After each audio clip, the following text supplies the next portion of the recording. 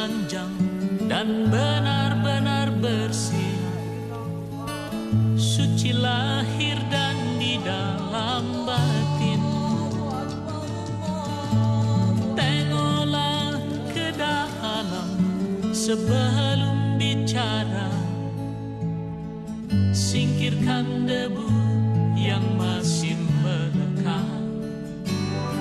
Tuhan pasti